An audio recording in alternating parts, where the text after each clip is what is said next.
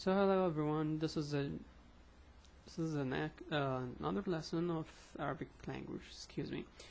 And uh, today we're going to learn four letters. Okay, they're very simple letters that easy to pronounce. And I'm going to begin with the next letter in the alphabet, which would be the ra.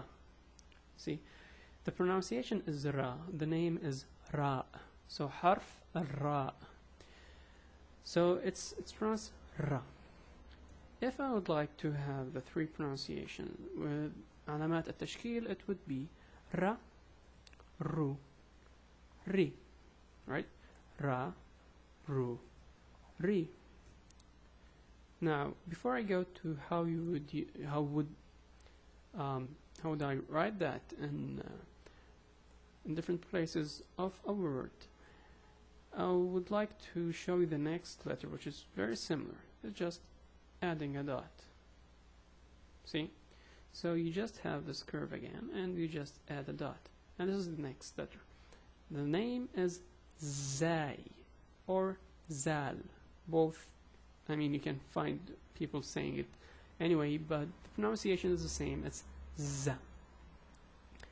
So if I add the three um, علامات التشكيل to be za, zu, as in zoo, you know, it's the same way you pronounce it, zoo, and z, just as you're saying the letter z. So za, zu, z should be fairly easy. Now, how to write that um, in a word? Well, it's also not complicated since we are at the stage. We saw already the dal, and this is really similar. So you write the ra, you know, like that. You leave a small gap, then you have the next letter. This is in the beginning, and now in the middle, you will connect it from the front. You will write it like this. So something connected from front, and a, and a gap, then a letter, then that's it. So the next letter will be, I mean, sorry. Um, now I'll write it at the end of the of the word, which would be connected to from front like that, and then just you know, that's it. So basically, it's really simple. Just a small curve like this that goes under the line. And uh, notice if I want to write the zal, all I add is a dot above, right? It's not really complicated. So, this is the. How am only doing time? Okay, let's move on to the next. Um, so next up is uh, an also uh, an easy, um, you call an easy letter to pronounce, and this is like the most common in all languages of the S sound. You know, so it's the name is harf asin. The way you write it is like this. It's like you having, uh, you know, writing the three in English. You know, one, two, three, and but it's like 90 degrees clockwise. Um, you know, rotated anyway. So it's like that. It's it's seen. The pronunciation is sa. If I add علامات التشكيل it would be sa, su, si. Again, sa, su, si. Okay. So before I go and write it in different places of the word, the next letter would be the same way you write it, but you add three dots above it. The three dots is like that, like a pyramid. So three dots, and it's called sha. You know, so the sha sound, not cha like the Spanish. No, no, it's sha. You know, sha. So um, yeah. So how how would you pronounce that with different uh, علامات تشكيل? It would be sha, shu, she again, sha, shu, she. Okay, so basically that's it. Now let's move on and go to the way you write that. So in the beginning of the word, you'll have one, two, three, and stretch, just like that. You see, three peaks, stretch, and connect to the next letter.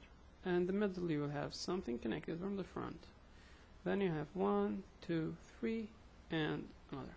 Notice that these three usually are very close to each other. Don't make them um, too big, like this.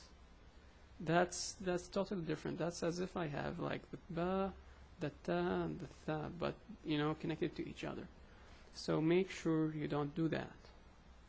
Sh they should be really close to to um, each other. Anyway, so this is in the in the middle of the word, and in the end of the word it will be connected like so. One, two, three, and I go below. So it's like this. Should be easy. Now if I want to write the sheen, I just add three dots. Three dots. Three dots. Another way to uh, another way to write the three these three dots is just to connect them like this, you know, just like the hat, you know, sign. Anyway, so it's either the three dots or the hat sign. And uh, I would like to say this. Do I have time? Yes, I do. The another way to write it, and this is very common in hand, handwriting, is you don't. Um, well, it's like this.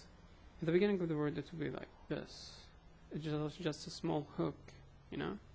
So like so, just like that, and it's like a very long straight line.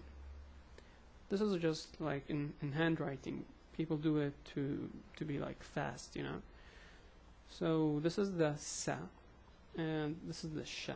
So seen and sheen. So again, in the begin, in the middle of the word, it will be the same, just a very straight line. It's very long. Usually, they they really make it long to to to make you know that this is a seen or a sheen. This is not a space. And uh, at the end of the word, it'd be like this. Also, you know, if I want to make it as a sheen, I can add three dots, or I can add this hat. I can add here also three dots or a hat to make it a sheen. So this is the four letters for today. Again, I'll go over them quickly before I end. It's ra, za, sin, sheen. Ra, za, sin, sheen. Let's pronounce these really quickly. It's ra, ru, ri, za, zu, zi, sa, su, si, sha, shu, she. Sha, shu, she. Okay?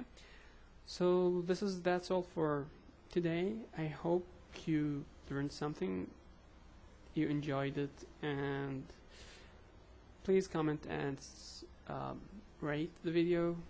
That's all. Thank you. Goodbye.